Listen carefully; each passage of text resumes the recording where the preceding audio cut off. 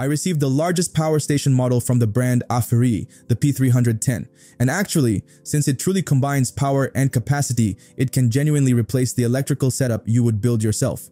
I am going to present it to you in this video, but we will also look at a case study to install it in a large camper van while keeping the same level of comfort as with a custom-built setup. We will illustrate this with a wiring diagram, which will be quite simple.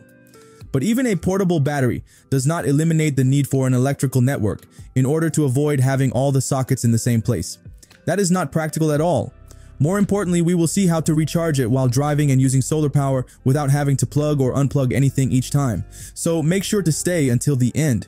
Of course, I negotiated with the brand the lowest price available on the web, which you will find in the description. And feel free to subscribe to the channel, give us a like, and let us know in the comments what you think about this P310 station. Here is the P310 in operation. To test it, I started by plugging it directly into a rigid solar panel located in my garden, which I use for testing. At this moment, we can see that the production is around 412 watts. This is a 500 watt panel originally. This station can actually handle much more input power, as it supports up to 2000 watts of solar production. The dial you see here is used to adjust the grid charging power, which can be set between 400 watts and 2200 watts. We also have two USB-A ports with quick charge 3.0, three USB-C ports at 20 watts, and one USB-C port with a power output of 100 watts. That is more than enough for use in a camper van or outside. In the 12 volt direct current output zone, there is an XT60 port rated at 25 amperes, which as you will see is very practical for our electrical setup. There is also a cigarette lighter socket and finally two 12 volt outputs at 3 amperes. And of course, one of the strong advantages of this Aferiy P310 power station is its three alternating current outlets at 230 volts or 110 volts depending on your region. And get this, the output power reaches 3600 watts. That no longer limits the types of devices you can connect to it, the outputs are pure sine wave. Given its large capacity, it is equipped with wheels on the back, since its weight is still greater than the P210. We are talking about a capacity of 3,840 watt hours. To give you an equivalent in 12.8 volt batteries, that represents 300 ampere hours. At the back, I connected my solar panel to the XT90 input, which is located right next to the AC input socket and it is plugged directly into the back of the panel. This is a cable that actually comes included with the power station.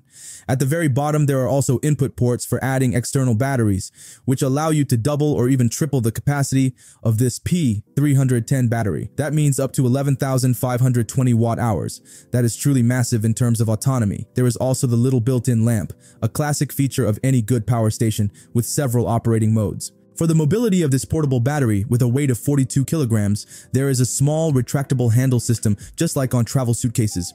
It allows you to move it around without breaking your back.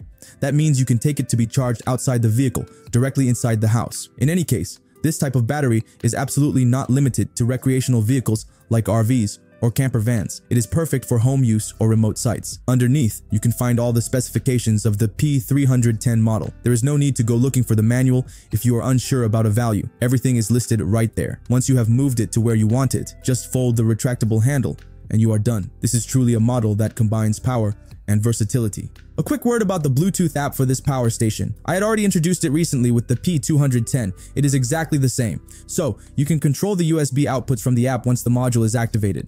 The 12 volt direct current outputs can also be managed. You can control the alternating current output module, and finally, the LED light. Right now, you can see the direct current input coming from the XT90 socket where my rigid 500 watt solar panel is connected, for example.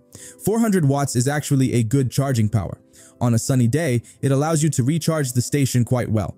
But the station accepts so much more, and that is what makes it great. As I mentioned at the beginning of the video, this P310 can perfectly complement a fixed electrical installation. As a result, you could build a complete, powerful, and autonomous system with very little electrical knowledge. Let's start by addressing the main question, which is energy production and the charging methods. Through the XT90 port, you can recharge using solar panels. We will base this on a camper van setup with solid solar production. That is two solar panels of 400 watts each on the roof of the vehicle.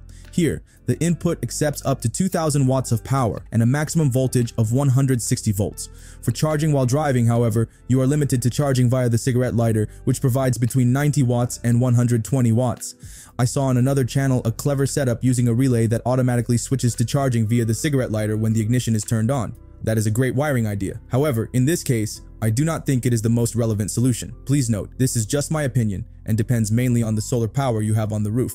Personally, I prefer a manual switch that you activate depending on your needs. Because first of all, the XT90 input does not support both sources simultaneously. Second, charging via the cigarette lighter only makes sense to me in bad weather. Imagine you're driving in full sun with 300, 400, or even 800 watts of solar panels, and the system switches automatically to alternator charging, which only provides around 100 watts. That makes no sense. So for me, a manual switch remains the simplest way to avoid having to plug and unplug the XT90 connector to change the power source, and it is also unnecessary to connect directly to the battery for such low power. However, using a booster charger with a 24 volt output, you can recharge the battery with much more power, but that does require connecting directly to the battery. The other charging method is through the AC socket, and the P310 has a built-in charger that is adjustable between 400 watts and 2200 watts. But it also has another major advantage, its UPS function, which acts as an automatic source switch. Let's say you are using your alternating current circuit inside your vehicle.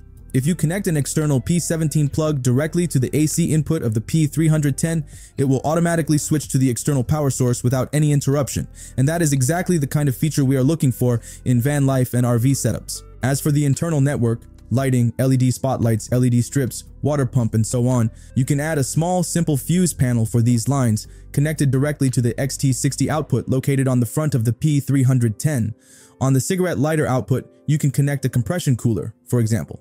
For the USB outputs, depending on the positioning of the station, you can either plug in directly or use integrated sockets in your setup. In that case, you would simply buy USB extension cables. Coming back to the 230 volt network, the ideal setup here is to have an intermediate electrical panel with protections, or to connect directly. You can also run specific lines that lead to your kitchen countertop, for example.